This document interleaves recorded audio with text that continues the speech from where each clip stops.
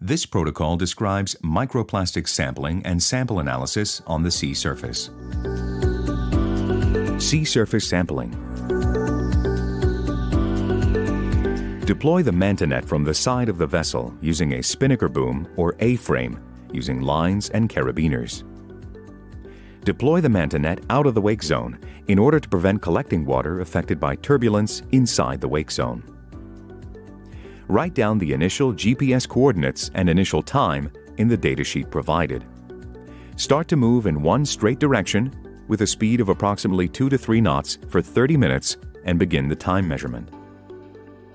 After 30 minutes, stop the boat and write down the final GPS coordinates, the length of the route, and the average boat speed into the datasheet provided.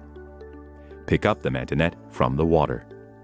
Rinse the MantaNet thoroughly from the outside of the net with seawater using a submersible pump or water from the boat water reservoir. Rinse in the direction from the manta mouth to the cod end in order to concentrate all particles adhered to the net into the cod end. Note, never rinse the sample through the opening of the net to prevent contamination.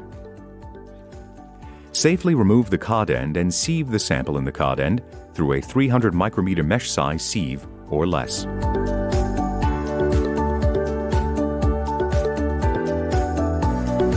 Rinse the cod end thoroughly from the outside and pour the rest of the sample through the sieve.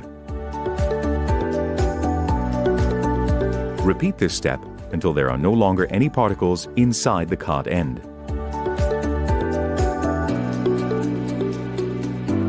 Concentrate all material on the sieve in one part of the sieve. With the use of a funnel, rinse the sieve into a glass jar or plastic bottle by using 70% ethanol.